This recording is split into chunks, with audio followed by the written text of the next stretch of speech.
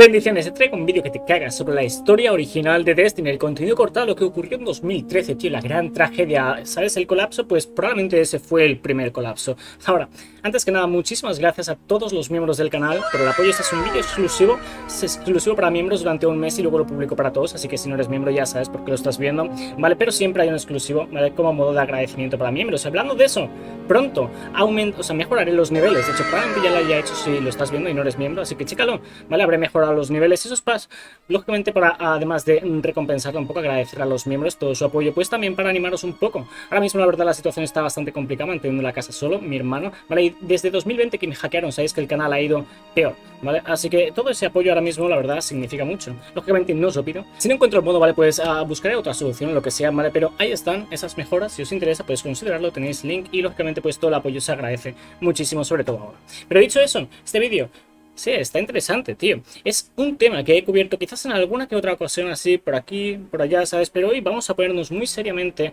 a hablar sobre el qué ocurrió con Destiny 2013 y todo lo que cortaron. Y es impresionante, o sea, vais a flipar, la verdad. Ah, sí, pasemos ya a ello. Una incursión en Marte, Europa, la zona muerta europea, el cuervo, Osiris, la desconocida y mucho más fue recortado de la historia original donde iban a ser muy distintas las cosas. En el verano de 2013, meses antes de lanzar Destiny, Bungie entró en modo pánico. El equipo narrativo, liderado por Joe Staten, llevaba varios años ya trabajando en la historia del juego y reuniendo lo que ellos llamaban el Supercut dos horas de vídeo compuestas por cinemáticas del juego e importantes momentos de la historia. Luego en julio de 2013 se lo enseñaron a los líderes del estudio y ahí es cuando todo fue mal, según seis personas que trabajaban en Destiny. Los líderes no estaban muy contentos con el Supercut, decidieron que era muy lineal y rápidamente cortaron la versión de Joe Staten de la historia y empezaron de nuevo lógicamente en contra de los deseos de Joe Staten, quien dejó el estudio poco después de una forma poco amistosa, es decir, a, quien le gusta que se cargue en su trabajo, ¿no? Luego, durante las siguientes semanas, el equipo trabajó en una trama completamente nueva, reescribiendo Destiny y reuniendo como pudieron los pedazos de la versión que eventualmente lanzarían el septiembre de 2014. Muchos se quejaron de aquello encapsulando muchos de los problemas de la narrativa con la famosa frase de la desconocida Exo. No tengo tiempo para explicar lo que no hay tiempo para explicar. Con el lanzamiento del Rey de los Poseídos, bastante después, muchos vieron la gran mejora de la historia y el esfuerzo de Bungie por cuidar el juego, pese a que tenía bastantes problemas, de hecho casi se hundió durante los primeros años. De cualquier modo, el equipo de Kotaku, al igual que otros muchos fans del juego, se preguntaban sobre el verdadero origen de Destiny, la historia original que muchos nunca vimos. Y fue entonces que lanzaron el famoso artículo, La verdadera chapucera historia detrás del desarrollo de Destiny. Bueno, es una traducción, es The Messy True Story Behind the Making of Destiny, pero es algo del estilo. Entonces, en este artículo Ah, que por cierto os dejaré en la descripción. Tendréis links a este artículo y al resto de fuentes de info mencionadas abajo en la descripción. Pues Kotaku, en particular Jason Reyers, shout al porque se le ocurrió, pasó 13 meses investigando, o sea, no fue tontería. Después de conversaciones con más de media docena de empleados de Bungie, todo parecía pintar la imagen de que el estudio se vio sorprendido y sobrecogido por el reinicio repentino de la historia. También un calendario de producción muy estresante, y un número de factores debilitantes, incluyendo desafíos técnicos con el nuevo motor del juego. En febrero de 2013, Bungie invitó a varios reporteros a sus oficinas en Bellevue, las cuales echo de menos. En plan, Bungie, si estás escuchando, invita pronto, aunque sean las oficinas de Amsterdam, ¿sabes? Pero, pero, nos estamos yendo del tema. Esos reporteros vieron todo lo que Bungie había estado tramando desde Halo Reach en 2010. La idea, la visión y el futuro de su nuevo juego, Destiny. Prometieron que iba a ser un mundo compartido de disparo en primera persona, un lugar donde hacer amigos y jugar con desconocidos entre los pantanos del viejo Chicago y los anillos de Saturno, ah, entre algunas de las cosas que mencionaron. Durante ese mismo año, Bungie empezó a revelar el juego con trailers y gameplays, algunos de los cuales mostraban a jugadores uniéndose a misiones o al mundo libre eh, donde, donde quisieran, básicamente en la localización que deseaban, en lugar de en zonas de aterrizaje. Ese es un pequeño pero muy importante detalle de todo aquello que cambió del Destiny original y que estaban vendiéndonos por entonces y el que podemos ver hoy en día, ¿sabes? Con nuestros ojos. Debido a Activision, si no me equivoco, salta el copyright al pasar ciertos de esos trailers de entonces, pero podéis ver mucho al respecto si buscáis mi lista de reproducción. He encontrado algo raro sobre Destiny. O si buscáis en mi canal cosas como la historia original, contenido cortado, seguro encontráis, ¿vale? He cubierto casi todo lo que se sabe, aunque eso es más de cara al gameplay y el contenido. Aquí nos vamos a centrar más en la narrativa. El caso es que pese a estar anunciándolo, seguían habiendo muchas cosas que aún no tenían claras.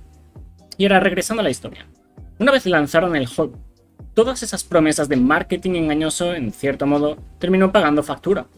Muchos se quejaron de la dirección de la historia y su diálogo, señalando frases como la de nuestro espectro en la luna cuando dice, la espada está cerca, puedo sentir su poder, cuidado, su poder es oscuro. En fin, mira, ¿sabes? Hay muchas como esa, ¿vale? Y pese a que es, mucha gente eh, le parece genial de este nivel a día de hoy, pues lógicamente se notaba que le faltaba algo, parecía que había, eh, lo habían hecho con prisas, ¿no? En fin, sabiendo lo que os he contado antes y aún sin haberlo jugado vosotros, podéis tener una idea de lo apresurado que se sentía el resultado final de Destiny 1 cuando lo lanzaron, después de haberlo reescrito prácticamente al completo. Debido a eso, muchos jugadores como yo empezamos a investigar de nuevo el pasado de Bungie del desarrollo de Destiny, los trailers que habían lanzado y todo eso que nunca vimos en la versión final del juego. Entonces, se señalaron muchos temas importantes como los personajes y misiones que no habían aparecido en el juego, como el planeta Saturno, el personaje del cuervo, que por cierto iba a tomar un papel de los más importantes desde el inicio del juego y de cara a la aventura del guardián. Podéis ver el tráiler oficial de Destiny en 2013, ¿vale? Justo ahora en este momento, como veis, el guardián se encuentra con el cuervo y este le pregunta que por qué la ciudad está encima suyo, porque está como en su contra, ¿vale? Algo parecido pues al papel que toma cuervo ahora en Destiny, bueno, cuando resucitó después de ser Uldren, que estaba en plan, tío, ¿por qué todos están en mi contra? Pues bien, eso parece que lo han retomado en cierto modo, ¿vale? Pero de cualquier modo os voy a dejar escuchar esa escena un momento, si no me salta el copyright, para que os hagáis una idea. Why is the city breathing down my neck? Why don't you put that down so we can talk? Out here in the wild, this is how we talk. Entonces le pregunta eso, el por qué la ciudad está encima suyo, y el guardián le dice que baje el cañón, ¿vale? Pero él, uh, bueno, que baje el cañón para hablar, ¿no? Y el cuervo le dice que así es como se habla en las tierras. De cualquier modo, esa era uh, una versión totalmente distinta del cuervo, bueno, que terminamos conociendo en Destiny 1. Ahora hay otras escenas de trailers e imágenes que muestran misiones con cuervo, en la que el guardián debía viajar a Venus para explorar el archivo de la Academia de Ishtar junto, uh, junto con la ayuda del cuervo, ¿vale? Entre muchas otras misiones en las que debía aparecer. Aquí tenéis un ejemplo, ¿vale? Aquí mostraban la aplicación Companion. Nuevo capítulo en Venus y este capítulo de la historia nos pedía ganar el favor de la reina y nos pedía ayudar al cuervo a lootear el archivo de la Academia de Ishtar. Y como os digo, hay muchas misiones con cuervo que fueron cortadas. Y como os digo, esa es una de muchas cosas que cortaron. Según fuentes de información, tras ese encuentro con Cuervo en el Destiny original, íbamos a trabajar con él para encontrar a Osiris, que por cierto, y por cierto, describieron al cuervo como lo más parecido al personaje de Kate 6, dando la impresión de que iba a ser cuervo. O sea, sí. De hecho, dijeron literalmente, y cito, básicamente quien Kate 6 es en el Rey de los Poseídos iba a ser el personaje del cuervo. Así que, sí, sí, cambiaron bastante la historia. Luego, en la versión oficial, el cuervo era el príncipe Uldren en Destiny 1 líder también de la armada de espías de la reina llamada Los Cuervos, ¿no? Y muchos pensamos que ahí quedó la idea original, hasta que en 2018 Uldren renació como el cuervo. Y bueno, no hace falta decir que su personaje ahora es lo más parecido a su idea de aquel entonces, ¿vale? Uh, según fuentes, la versión de Destiny original se iba a centrar mucho más en la historia. Una de las misiones empezaba con Osiris, anunciando un dramático descubrimiento sobre los Vex y pidiéndonos desenterrar una ancestral reliquia en Marte. Otra misión cortada que nos llevaría a Venus a responder la llamada de socorro de Cuervo en mitad de una pelea con Kaidos y muchas más. Todas las misiones, por cierto, terminaban con una cinemática de unos 3 a 4 minutos. ¡Wow! Además, según dos personas familiares con los eh, planes originales, el Supercut tenía que ver con los jugadores, los guardianes, sumergidos en una aventura por rescatar al, atento, al estratega Rasputin. Así es, en 2013, Rasputin iba a tomar un papel mucho más importante que el que tiene ahora mismo. Y, ya es un buen papel el que tiene ahora mismo. Entonces, ahí en 2013, Rasputin iba a ser secuestrado por la colmena. En la versión original, ¿vale? De la historia. Y estos, la colmena, iban a encerrar a Rasputin en el acorazado. Y sí, el acorazado ya estaba listo por aquel entonces, hablando de 2013, y decidieron recortarlo del Destiny original para sacarlo luego con el Rey de los Poseídos. Ahora, toda la tercera parte del juego, del original, iba a tomar lugar en el acorazado, mientras luchábamos por rescatar a Rasputin, dijo una persona que trabajó en el juego. Así que fijaos lo distinto que iba a ser el juego, que en el Destiny 1 original, Vanilla, sin DLCs, no hay acorazado, y en principio íbamos a pasar un tercio del juego ahí, ¿vale? Que como veis iba a ser muy distinto, uh, hablando de rescatar a Rasputin con la ayuda de Cuervo y así es en plan, wow. Esta es una pieza de arte conceptual en la que podéis ver a Rasputin Exo. No creáis que es una idea o una suposición, este es el Rasputin Exo que debíamos rescatar en la historia original. Ahora, en uno de los DLCs, se supone, de los originales, íbamos a aprender que ese Exo, de hecho, es una especie de marioneta controlada por el estratega. Lo cual me recuerda mucho a la historia de Rasputin y el exo Felwinter, pero sí, o sea, este iba a ser Rasputin en la historia original.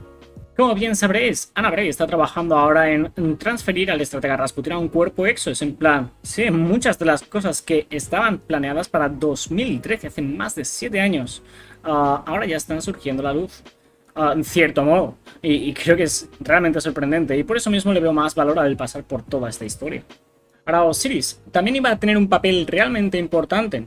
E igual, ahora ya lo conocéis de hace tiempo y se os ha olvidado, pero durante todo Destiny 1 nunca llegamos a ver a Osiris. Había mucho lore, diálogos, incluso de pruebas de Osiris, ¿vale? O sea, teníamos las pruebas de Osiris. Uh, y todo eso siempre nos hizo teorizar sobre él, pero nunca llegamos a verlo. Uh, de hecho, había una imagen durante uno de los trailers del desarrollo, ¿vale? Mostraban los monitores de los desarrolladores, donde veíamos lo que iba a ser Osiris. Y no era un modelo terminado, ¿vale? Uh, sí, hay muchos, muchos de estos temas misterios que he estado cubriendo, por cierto, en otros vídeos, con más imágenes y demás, si, si quisierais investigar, ¿vale? Pero sí, lo que viene a ser la historia es en plan... Es totalmente distinto. Entonces, Osiris también iba a tener un papel realmente importante, como os digo. Resulta que en la versión original del juego, Osiris iba a tener un papel rollo Obi-Wan Kenobi, ¿vale? Iba a servir de mentor y de guía para el guardia. Iba a estar en un templo ancestral de los Vex en Mercurio, ¿vale? Muy probablemente el faro, que luego reutilizaron para pruebas de Osiris. Cuando Kotaku cubrió esta historia, estaban aún a dos años de que llegasen a ver las pruebas, uh, de hecho las pruebas a Osiris en el juego, ¿vale? Este apareció por primera vez eh, durante la maldición de Osiris allá te, eh, tarde 2017, ya casi terminando 2017. Ahora, Osiris iba a ser nuestro guía en la historia original, como os digo, y, atentos, tenía una asistente robótica que según la fuente de info de Kotaku, fue retirada y reusada y seguramente muchos de vosotros la conocéis hoy en día y era la desconocida EXO, Elsie Bray. Aparentemente iba a ser la asistente de Osiris por aquel entonces. Luego otro personaje que fue recortado de la historia fue la inteligencia artificial de Marte, el estratega Carlo Magno, que iba a tener su propia incursión llamada la Cámara de Carlo Magno en Marte. Sea, con eso no quiero decir que nos enfrentemos a él, ¿no? Pero que lógicamente tenía que ver con él, con Carlo Magno, así que Impresionante que recortaran una incursión completa. Hay, de hecho, gente que saliéndose del juego, del mapa de Destiny 1 y demás, encontraron cosas como la entrada, ¿vale? Y poco más, porque lógicamente no estaba ahí el resto del contenido. Pero sí hay muchas de estas cosas que uh, son mucho más que rumores. O sea, rumores, quiero decir. Que además de que Bungie las ha comentado de forma anónima, el juego, en el mismo juego hay muchas cosas que se pueden encontrar de ese modo. Luego, otro contenido cortado incluye la luna de Europa, Vale, y hablamos de 2013, y esto lo lanzaron pues el año pasado, 2021, fijaos. Vale, así que la Luna de Europa ya estaba planeada. La zona muerta europea, que eh, lanzaron en 2017, también estaba planeada en 2013. Y un buen pedazo de Marte se lo pasaron a High Moon Studios para desarrollar la secuela de 2016. Supongo que se refieren pues a Phobos, ¿vale? a las misiones que toman lugar ahí en Marte. Ahora, el artículo se extiende mucho más hablando sobre el resto del desarrollo. ¿vale? La persona que contrataron para montar las cartas de Grimorio, con lo que quedaba de historia, la reacción de la comunidad al lanzamiento y a los TLCs, etc. Pero en cuanto a historia y narrativa, esos pedazos de lore y contenido cortados, los más importantes que jamás vieron la luz del día, son esos. Uh, de hecho, por otra parte, y esto es interesante, En este artículo de IGN uh, mencionan muchas cosas sobre la historia original de Destiny, ¿vale? Pero quiero citar esto, ¿vale? Y es Christopher Barrett, director de arte de Bungie, ¿vale? Que nos decía el tipo de cosas que podíamos esperar en el futuro, ¿vale? Los lugares, los lugares que podíamos esperar visitar, ¿vale? Al menos antes de que cortaran el contenido. Y mencionaba la brecha del cosmódromo, las ruinas al eje de la zona muerte europea, los pantanos de viejo Chicago, flotas de nave flotando en los anillos de Saturno, la boca del infierno en la luna, las profundidades del arrecife, naves pirámides gigante obsidianas, naves tumbas de millas de longitud y mucho más. Y hoy hay un montón de esas que es en plan, ¿sabes? En plan, esta descripción la verdad me sorprendió un huevo. Porque lógicamente las pirámides ya las hemos visitado, pero por aquel entonces mmm, creo que ni siquiera habíamos llegado a verlas todavía en la pantalla de carga. Aún no lo habían lanzado cuando lanzaron esa entrevista, si no me equivoco. ¿Sabes? También habla de tumbas, uh, naves, tumba de millas de de longitud, ¿no? Eso podríamos mm, relacionarlo con las pirámides también, en cierto modo. O sea, la, pirámide de Rulk básicamente es algo parecido. Ahí tiene como una especie entera ahí uh, cristalizada y sí se podría considerar una tumba en cierto modo también. Uh, además, por cierto, hay una teoría de que todas las pirámides en sí son como tumbas de mundos, por, así decirlo. Ya no me voy a liar con eso, pero definitivamente es interesante esta descripción. Ahora, este es un pequeño tema que os voy a comentar, pero esto, esto que os voy a decir ahora mismo, forma parte de una filtración que no ha sido completamente confirmada por lo que tengo entendido, ¿vale? Básicamente, la historia original nos iba a llevar a descubrir que tanto el orador como el viajero son realmente malvados. Momento en el que íbamos a ir con Cuervo para trazar un plano o algo similar. Básicamente, Cuervo iba a ser uno de nuestros mejores compañeros, los más importantes, incluso durante los momentos finales de la historia original, al menos ese momento en el que, no o sea, que el viajero no es malo y nos damos cuenta de ello. ¿no? De nuevo, esto último que os he dicho no es citado por Kotaku y si no me equivoco, aún no ha sido verificado al 100%. Pero, además de ser importante mencionarlo en caso de ser verdad, porque se supone que viene de fuentes anónimas de Bungie, ¿vale? Es simplemente que no lo han confirmado tal cual, no, no lo ha confirmado Kotaku, por ejemplo, que de ellos nos fiamos. Pues, uh, de cualquier modo quería citarlo porque uh, Luke Smith, uh, recientemente, bueno, recientemente, en 2015 se le escapó algo realmente importante. Recientemente lo compartí con vosotros, igual ya lo habéis visto, ¿vale? Pero creo que hace falta citarlo de nuevo. Este es el momento en el que este man de Game Informer le está entrevistando a Luke Smith, a Bungie, ¿vale? le pregunta si el viajero es secretamente malvado. Atentos a la reacción de Luke Smith. Is the traveler secretly evil? In time, we'll discuss more. Is Tanto por la reacción como por la, la, las expresiones y lo que dice al final de el, con el tiempo hablaremos más al respecto. Es en plan, vale tío, te han pillado. Definitivamente esconde algo el viajero. Y he hecho varios otros vídeos sobre el por qué es malvado. Vale, no, no, no basándome en esto precisamente, sino en otro montón de razones. Vale, por ejemplo, ahora sabemos mucho más sobre eh, la oscuridad que sobre el viajero, entre otras cosas. Vale, o sea, por ejemplo, la oscuridad nos hace recordar para aprovecharse de esos recuerdos, ¿vale? Nuestras debilidades y demás. Pero, por ejemplo, el viajero también nos hizo olvidar no sabemos exactamente por qué, pero posiblemente, probablemente también por sus propias intenciones, sus propias metas. Así que, de nuevo, mi opinión por ahora es que ambos son muy extremistas, tanto la luz como la oscuridad, hablando del viajero, las pirámides, del testigo. Ahí nosotros tenemos que buscar el modo de encontrar el equilibrio, usando la luz y la oscuridad, entre otras cosas, ¿sabes? Pero, hey, nos estamos yendo del tema. Como Luke Smith ha dicho, con el tiempo hablaremos más al respecto, ya se sabrá. Ahora, hay mucho más contenido cortado, arte conceptual, aún sin usar en el juego y mucho más que he cubierto en otros vídeos. Muchos los cubrí en la lista de reproducción he encontrado algo raro sobre Destiny, si no recuerdo mal. Y también podéis buscar en mi canal pila de vídeos sobre contenido cortado, arte conceptual, historias que quedaron pendientes y más. Uh, para hacerlo podéis ir al buscador, o sea, en el canal hay un buscador, clicáis ahí, ponéis cualquier, cosa que os interese. He hecho miles y miles de vídeos, seguro que encontráis lo que buscáis, ya sea contenido cortado, arte conceptual, lo que sea. He tratado de cubrir, cubrirlo todo lo mejor posible. Lógicamente hay vídeos de 2013 que, sabes, igual no son los mejores posibles, pero ahí estábamos mejorando. En fin, Uh, si tenéis curiosidad, ¿vale? Os dejaré links a las listas de reproducción abajo en la descripción y como digo podéis buscar directamente en el canal. Y esta, por cierto, es una de varias chapuzas, por ponerle un nombre, en la historia del desarrollo de Destiny de Bungie, ¿vale? Hablando de este corte de historia. Uh, luego, por ejemplo, está el hecho de que sacaron el TLC, Señores de Hierro, solo para PS4 y Xbox One, ¿vale? Cortando por completo a los jugadores de Play 3 y Xbox 360 que no fueron avisados y que dejaron el juego o se vieron obligados a gastar el dinero que igual no tenían previsto gastar, ¿sabes? Y ya ni hablamos del contrato de Bungie Activision, que fue filtrado, en fin, ese y otros muchos temas también los he cubierto en el canal, ¿vale? Podéis buscar contrato de Activision o contrato Bungie y seguro que os sale, pero Ha pasado tanto tiempo desde entonces que verlos ahora, después de todo lo que ha cambiado, todo lo que sabemos, ah, cambia mucho la perspectiva. Así que igual otro día retomamos esa información para ver qué podemos sacar de nuevo de todo eso.